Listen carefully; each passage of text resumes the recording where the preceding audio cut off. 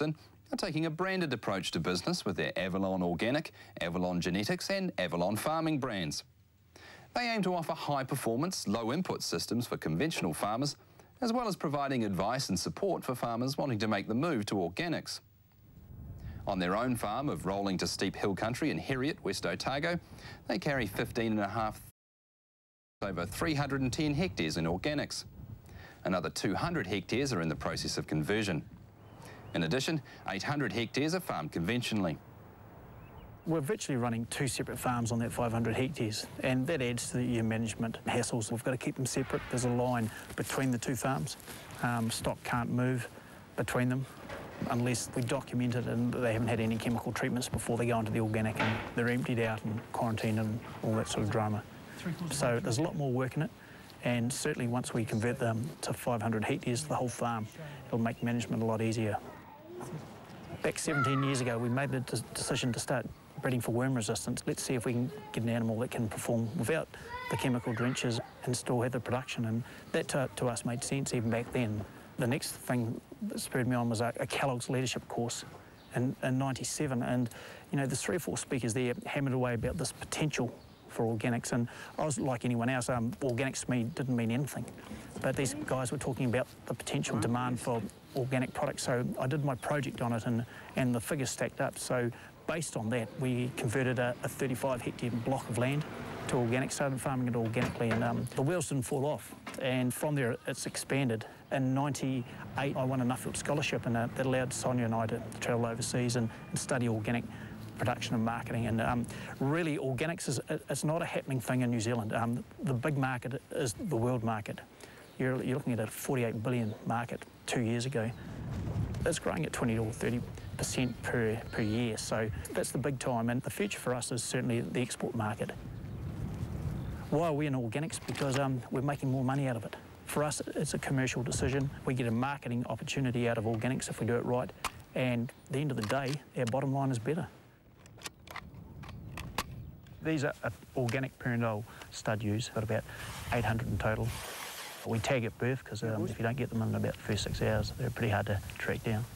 We're farming organically, so we haven't got the, the chemicals to protect them against um, lice and worms like your traditional stud, so they're under maximum pressure. Because they're under maximum pressure, we can actually um, uh, we get more variation, and we want that variation. We, we, want to find out who the winners and the losers are and make sure that we don't breed from the losers. So we've got a very worm-resistant flock here. There's a correlation between worm resistance and facial eczema and grass staggers, and some of our, our private research with, um, with lice and fly, there seems to be some those ones too. So in effect, we've got a, a multi-disease resistant animal. The Richardson's organic operation is certified under agri-quality standards that include a two-year conversion period.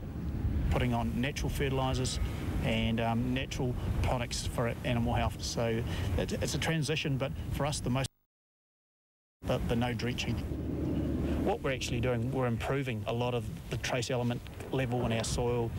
The NPKs have stabilised, and you know I think that a lot of fertiliser in New Zealand is applied due to the Olsen PT based on, on one specific soil type in New Zealand and it's used for any soil in New Zealand and what we're finding is that you don't have to operate in a 20 or 30 or 40 P to get good performance as long as the balance is there between your major and your minor elements.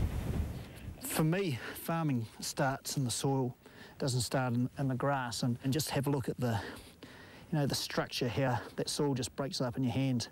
It's beautifully aerated, there's roots all through it, and also just the earthworms that are there.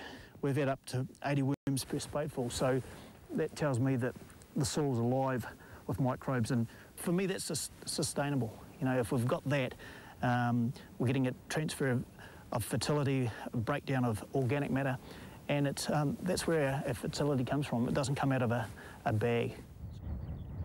Part of what we're doing in the Avalon farming systems are low input systems, and one of the key things there has been the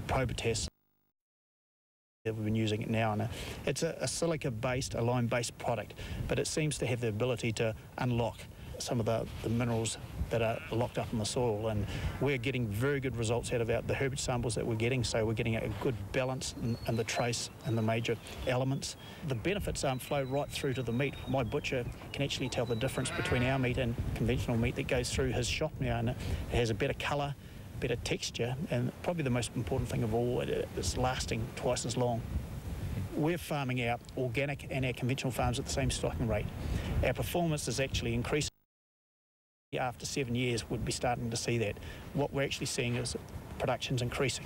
Pasture, the meat products, the wool that we get off the farm, all those things are increasing. And um, that for me is exciting. What it says to me is we've got a sustainable system here and for the long term, not just the short term.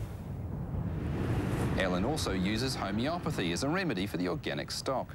It may look like a bit of witchcraft, but it's actually using a homeopathic treatment. And we've got hoggets that have come out of the winter and they're, coughing and spluttering, and a, it's a great sign of pneumonia. And what I'm doing here is I'm putting 10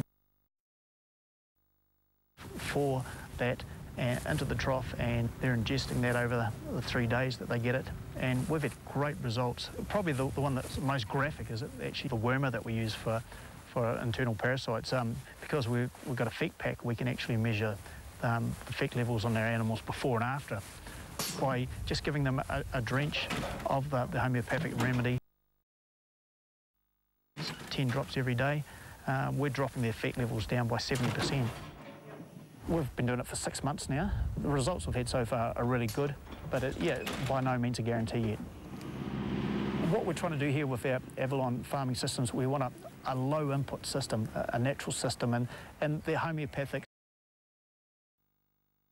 of um, the chemical uh, alternative.